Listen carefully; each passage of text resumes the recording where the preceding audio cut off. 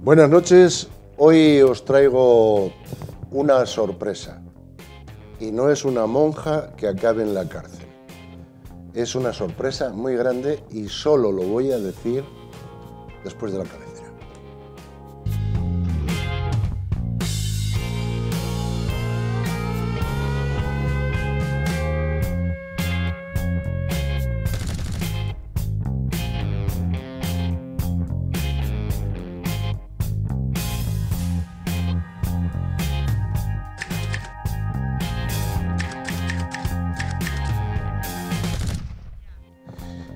Pues lo que os decía, buenas noches y os traigo una sorpresa que para mí es muy grata poder presentar a dos personajes míticos de una batalla emprendida por, por mi trabajo antiguo con ellos, que son eh, Juan Manuel Martínez Morala, buenas noches. Buenas noches. Y Cándido González Carnero, buenas noches. Los míticos Cándido y Morala. Eh, no sé, yo veo a Pelayo y después os veo a vosotros. La cosa allí que estuvimos juntos luchando en aquellos tiempos en los que era presidente Nerón, o no, era presidente Tini Areces, no Nerón. o da igual, bueno. Eh, yo quisiera preguntaros, ya que estáis aquí, eh, ¿cómo se ven desde la vuestra posición los problemas que se están viviendo en este país actualmente. Porque estáis ahí, sois exsecretarios, ex de la corriente sindical de izquierdas, pero eso no quiere decir que hayáis perdido, pues, no sé, les ganas de luchar, les ganas de, de defender las cosas, pero ¿cómo lo veis? ¿sabe? Bueno, podéis hablar todos a la vez, ¿eh? Sí, vale. Bueno, mm, sí, mm, fui secretario general de la corriente también fui trabajador del naval, pero digamos que estoy jubilado del trabajo alienante, no de la resistencia. ¿eh? Vale. Entonces, bueno, la situación, por mucho que digan, pues la mayoría de los medios, por mucho que diga Rajoy y sus coros, la situación en el Estado español es muy grave, yo creo que es muy grave, se está mareando la perdiz con muchas cosas, se utiliza Cataluña, se utiliza todo para no hablar de los verdaderos problemas de este país. Según algunos, estamos en casi 4 millones de parados, según la última encuesta de población activa, y han marchado, según ellos, ya sabemos que primero hay mentiras, Luego hay más mentiras y lo último que de la mayor mentira son las estadísticas. Pero suponiendo que lo que digan ellos sea verdad, con 2.800.000 que han marchado desde la crisis fuera, está claro que el paro no se ha reducido en el Estado español.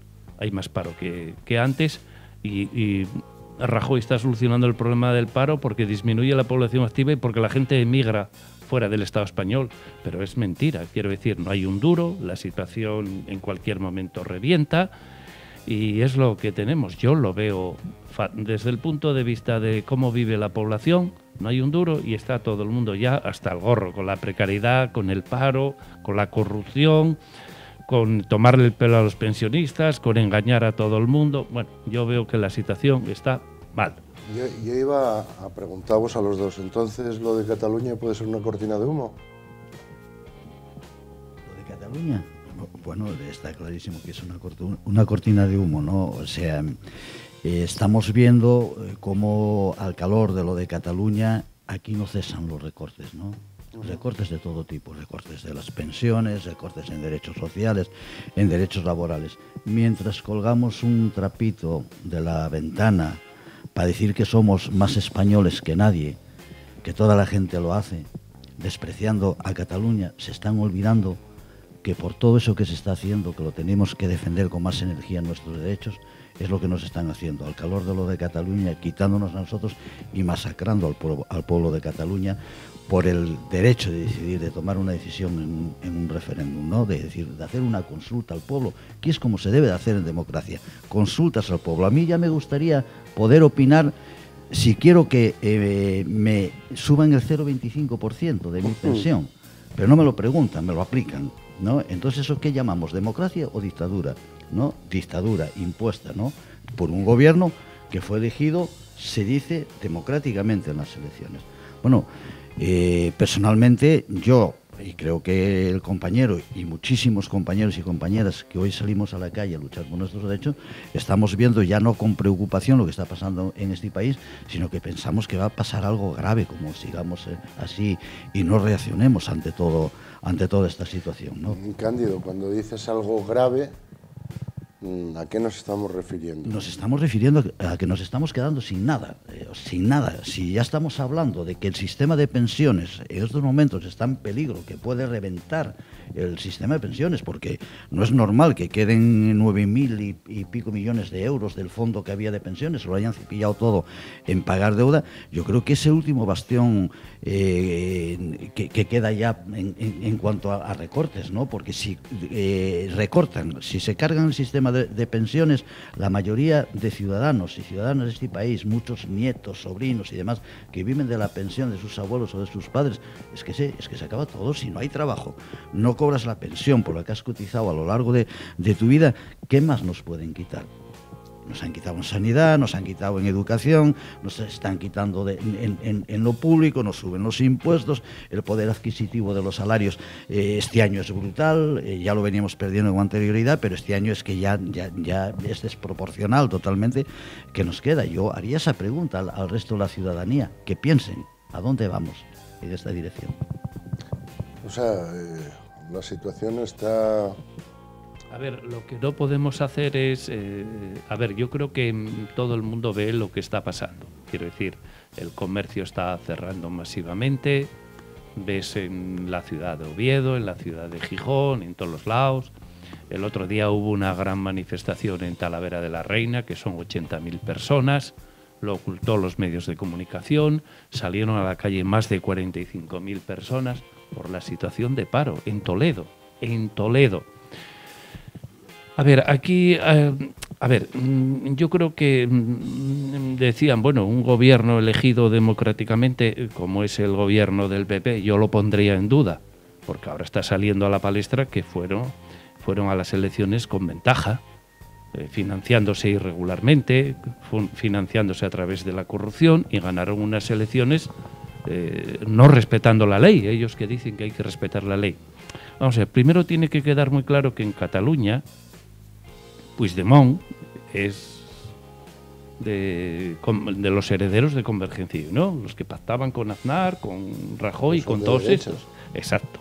Pero también tiene que quedar claro, y nuestro sindicato siempre lo defendió, y la mayoría de los sindicatos y de partidos lo tienen en sus estatutos, el derecho a decidir.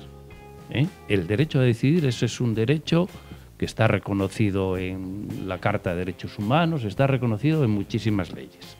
Y luego, como sindicalistas que nos tocó ir a la cárcel, bueno, mm, todas estas medidas que están aplicando en Cataluña por emitir un voto, meter a la gente en la cárcel, cuando vemos que al Puigdemont retiran la orden de detención europea porque tenían miedo que en Europa, que eso es tanto como admitir que España no es Europa, tenían miedo que en Europa los absolvieran, entonces quitaron rápidamente la orden de detención. Entonces, el que esto, a ver, cualquier persona que luego mañana los trabajadores vayamos a un parlamento a protestar, bueno, pues nos van a aplicar lo mismo que en Cataluña. El problema es que, mm, vamos a ver, eh, aquí debía de hacerse un referéndum pactado, habrá que negociar, el derecho de autodeterminación de los pueblos lo tenemos en los estatutos, pero bueno, y ahora volviendo también al problema real de los... Porque, a ver, si yo quiero que Cataluña se quede en el Estado español, no les escupo. Yo si quiero que un hijo venga para casa, no le escupo. Pues hablo con él, le digo, oye, es mejor para todos estar aquí. O sea, que, vale más diálogo. Sí, bueno, y, yo me, siento muy identificado con un trabajador catalán más que con Rajoy. Yo con un trabajador catalán, él es un yo soy un trabajador en Asturias y él es un trabajador catalán y nos vamos a llevar pero que muy bien. Eh, que, me comentabas, estuvisteis eh, en, el penal, iba a decir el penal de Villabona, no sé cómo llamarlo. Bueno. Cárcel de Villabona. eh, ¿Creéis que estos presos son presos políticos o son políticos presos? Hombre, a ver, Oriol Junqueras y todo esto. Mm, yo no tengo ningún tipo de duda. ¿eh? Podemos coincidir o no en, ideológicamente con ellos, que no coincidimos, evidentemente, pero está claro que son presos políticos. Yo creo que no se les está acusando de un delito. ¿Pero qué sedición? Yo pensé que el tema de sedición solo existía en, en lo militar y ahora resulta que en la vida civil y en la vida política también se aplican delitos de sedición. Es decir, ellos han hecho una consulta una consulta a la ciudadanía ¿eh? sobre eh, qué querían para Cataluña. Y bueno, se montó una parafernalia que yo creo que, estaba estudiada con premeditación y alevosía, ¿no? No, es, no fue por casualidad, porque nadie eh, en ese momento habla del costo que tuvo desplazar a todo un ejército de policías y militares a Cataluña con tres barcos, eh, con tres ferries atracados en el puerto, pagados con un costo de, de 100.000 euros diarios, es decir, 300.000 euros al día. Y la gente, mucha gente se preguntaba en la calle que cuánto costaba el viaje de los alcaldes para visitar a Puigdemont a a, Bruselas. Bueno, está bien que los ciudadanos pidamos explicaciones por todo, pero también por lo demás. Yo personalmente tengo claro que son presos políticos. Han hecho una consulta, se puede considerar que es una rebeldía social. Nosotros somos rebeldes sociales también, lo entendemos. Nosotros no, la mayoría de las veces cuando salimos a la calle a protestar no cumplimos la ley, porque si cumpliéramos la ley no saldríamos nunca a la calle por las restricciones que hay. No nos olvidemos que hay una ley mordaza que se está aplicando de forma tajante para que la gente más humilde no pueda protestar y defender sus derechos legítimamente. Y bueno, pues eh, todo eso, todo eso son datos a, tener en cuenta. Para mí es claro que son presos políticos, porque aquí lo que hay es una disputa política y ellos declaran a la República, le dicen que no, hacen una consulta, les dicen, les dicen que no, aun, aún considerando que lo que han hecho es, es ilegal son presos políticos, aún considerando lo que yo no lo considero. Tuve el privilegio de estar cinco veces en Cataluña este año en distintas asambleas de, tipo social, pude convivir con muchos ciudadanos y ciudadanas del pueblo catalán, cómo se estaba viviendo allí el problema de la, consulta, y yo creo que no se resuelve con la, aplicación del artículo 155 ni entrando a saco como se entró el, el, 1 de octubre, que también estuve allí en algunos colegios electorales y pude vivirlo directamente. Y parece lamentable que se pueda ejercer una represión contra un pueblo por simple derecho mm, a, decidir, a querer votar. Y allí se veía gente mayor de todas las edades que a lo largo de su vida han luchado por, por tener una consulta. Y el problema de Cataluña no pueden resolverlo de esta manera. El problema de Cataluña tendrán que sentarse, tendrán que negociar, tendrán que ver qué solución le dan, y, pero, no, pero no esta, desde luego. Yo mm, me gustaría eh, que me comentarais, cuando estuvisteis en el MACO, ¿cómo, ¿cómo, lo vivisteis? Para la gente que no sepa lo que es el MACO, estoy preguntando, cuando estuvieron allá, ¿qué, qué año era? ¿El 2008? 2007, sí. 2007-2008. Sí, verano del 2007. ¿Cómo, ¿Cómo, lo vivisteis? Hombre, el, el tema es, eh, bueno, pues eh, ahora que se está hablando de Cataluña, yo quiero mm, decir aquí que lo que están haciendo a los catalanes ¿eh? reprimir toda protesta, nos lo van a hacer al resto de los trabajadores del Estado. Si se consiente lo que están haciendo allí, nos lo van a aplicar a todos. Yo, por ejemplo, estoy viendo los Jordis, estos que porque se concentraron ante el Ministerio de Hacienda, o no me acuerdo qué edificio era, considerarlo sedición, rebelión, cosas bárbaras. Hasta Felipe González decía que eso no lo veía, esa, esa eh, esos calificativos de los jueces, pero ya se está demostrando que no hay independencia judicial, eso cada vez está más claro, los nombran los políticos y los jueces se deben a los políticos. Estoy hablando siempre en general, puede haber excepciones, pero en general está cada vez más claro eso. Entonces nosotros aquí en Villabona, pues eh, bueno, mm, a mí me tocó estar también en la cárcel del Coto, estuve en la cárcel de Villabona, y desde luego lo que tratan es de que la gente privada de libertad pues bueno, sea un escarmiento para que no vuelvas a protestar y que sea ejemplo para los demás. Pero nosotros en la cárcel, no, no, yo no me sentí a disgusto con los presos, porque los mayores delincuentes yo creo que están fuera. Sí, una, una pregunta que, te que os voy a hacer. Cuando uno entra en una penitenciaría, ¿pierde los derechos de ciudadanía? Nosotros los perdimos. ¿Sí? Nosotros nos perdimos la, condena. Eh, implicaba también una condena a lo que es el sufragio pasivo. Ah, ahora, ahora cuando viene la pregunta. Eh, ¿Cómo es posible que Oriol Junqueras y, eh, la gente que tiene alrededor hayan tenido opción para votar, hayan tenido opción para delegar incluso su voto y poder llegar al, al Parlamento eh, sus ideas. O sea, si a vosotros os quiten el papel como ciudadanos cuando entráis en el verano del 2007 por cuestiones políticas dentro de la penitenciaría de Villabona, como es que Oriol Junqueras es diferente a vosotros cuando la Constitución dice que todos los españoles somos iguales ante la ley. Bueno, hay una diferencia. Pasa que nosotros ya teníamos condena en firme y ellos todavía no están condenados. Entonces yo creo que esa es la diferencia. Pero de cualquier manera, eh, yo creo que en la cárcel de Villabona, mm, mm, yo creo que amedranta y mete miedo quien puede. Y yo en la cárcel de Villabona me sentí mm, bien, como estaba claro que no había cometido ningún delito, porque si aquí hablamos de cumplir la ley, vamos a ver, el ¿Dónde está el derecho al trabajo? ¿Dónde está el derecho a la vivienda? ¿Dónde está, a ver, con las pensiones en el 025, yo recuerdo cuando estábamos en los fondos de promoción de empleo, decían a los jubilados, a ver, tú si coges el sistema antiguo, que son menos años para el cálculo de la pensión, que te sale más beneficioso, si coges eso, no tienes garantizado que te suban el IPC. Pero si, si coges el nuevo sistema de cálculo de las pensiones, que es más pequeño, tienes garantizado el IPC.